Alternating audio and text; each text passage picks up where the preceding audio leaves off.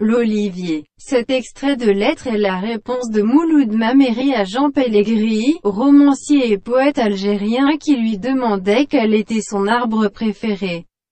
L'arbre de mon climat à moi c'est l'olivier, il est fraternel et à notre exacte image. Il ne fuse pas d'un élan vers le ciel comme vos arbres gavés d'eau. Il est noueux, rugueux, il est rude. Il oppose une écorce fissurée mais dense, aux caprices d'un ciel qui passe en quelques jours, des gelées d'un hiver furieux, aux canicules sans tendresse. À ce prix, il a traversé les siècles. Certains vieux troncs, comme les pierres des chemins, comme les galets de la rivière, dont ils ont la dureté, il a traversé les siècles. Certains vieux troncs, comme les pierres des chemins, comme les galets de la rivière, dont ils ont la dureté, sont aussi immémoriaux et inébranlables aux épisodes. Il a traversé les siècles. Certains vieux troncs, comme les pierres des chemins, comme les galets de la rivière, dont ils ont la dureté, sont aussi immémoriaux et inébranlables aux épisodes de l'histoire, ils ont vu naître, vivre et mourir nos pères et les pères de nos pères. À certains, on donne des noms comme à des amis familiers ou à la femme aimée, tous les arbres chez nous sont au féminin, parce qu'ils sont tissés à nos jours, à nos joies. Comme la trame des burnous qui couvrent nos corps.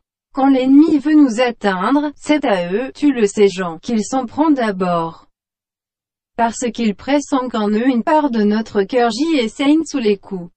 L'olivier, comme nous, aime les joies profondes. Celles qui vont par-delà la surface des faux semblants et des bonheurs d'apparat. Comme nous, il répugne à la facilité, contre toute logique. C'est en hiver qu'il porte ses fruits quand la froidure condamne à la mort tous les autres arbres. C'est alors que les hommes armés et les femmes se parent pour aller célébrer avec lui les noces rudes de la cueillette. Il pleut souvent, il neige quelquefois il gèle. Pour aller jusqu'à lui, il faut traverser la rivière et la rivière en hiver se gonfle.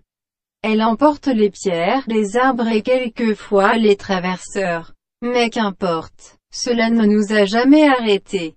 C'est le prix qu'il faut payer pour être de la fête. Le souvenir que je garde de ces oliviers majestueux, somptueux ne s'effacera de ma mémoire qu'avec les jours de ma vie. D'après Mouloud Mameri, Culture savante, Culture vécue, étude 1938 à 1989, édition Tala. شجرة زيتون مقتطف الخطاب هذا هو رد مولود معمري على جان بيلغري الروائي والشاعر الجزائري الذي سأله عن شجرته تفضل شجرة مناخي هي شجرة الزيتون إنه أخوي ولنا الصورة الدقيقة. إنه لا يصعد إلى السماء مثل أشجارك محشو بالماء إنه شرس وخشن وخشن يعارض اللحاء متصدع لكنه كثيف لأهواء سماء ستمر خلال أيام قليلة من صقع الشتاء الغاضب إلى موجات الحرارة بلا رقة. بهذا السعر، لقد عبرت القرون بعض جذوع قديمة مثل الحجارة الممرات مثل حصى النهر التي لديهم صلابة هي أيضا سحيق وثابت في حلقات التاريخ رأوا أن تولد وتحيا وتموت آباؤنا وآباء آبائنا. لبعض نعطي أسماء مثل الأصدقاء المألوفين أو المرأة الحبيبة. كل الأشجار في بلادنا أنثوية لأنها منسوجة في بلدنا لأفراحنا مثل لحمة البروق التي تغطي أجسادنا. عندما يريد العدو أن يصل إلينا فإنهم أن تعرف جان هو تفعل ذلك لأول مرة لأنه يشعر أن فيهم جزء منا القلب يكذب وينزف تحت الضربات.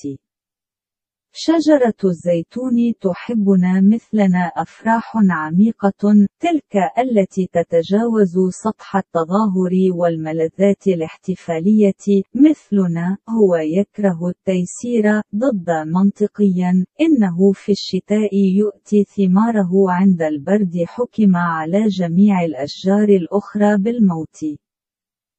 عندها كان هؤلاء الرجال تسيح نفسها وتزين النساء ذهابا وإيابا للاحتفال بالزفاف قطف قاس غالبا ما تمطر إنها تتساقط وأحيانا تتجمد.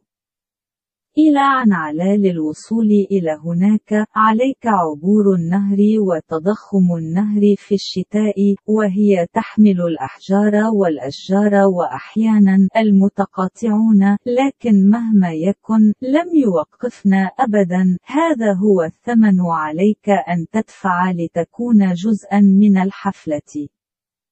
الذكرى التي احتفظ بها لأشجار الزيتون هذه مهيب وفاخر سوف يتلاشى من ذاكرتي فقط مع الأيام من حياتي وبحسب مولود معمر الثقافة المستفادة الثقافة الحية دراسات 1938 إلى 1989 تالا إدي